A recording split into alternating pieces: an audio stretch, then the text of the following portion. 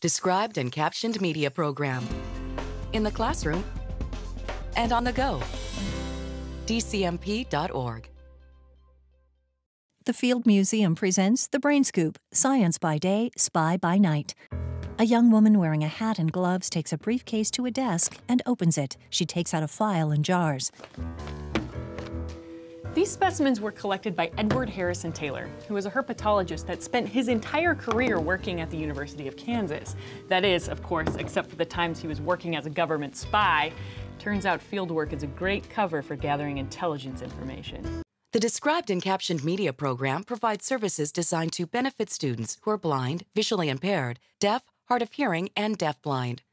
These services include a library of free loan described and captioned educational media, a clearinghouse of information related to educational media access, a gateway to Internet resources related to accessibility, and a set of guidelines for adding descriptions and captions to media.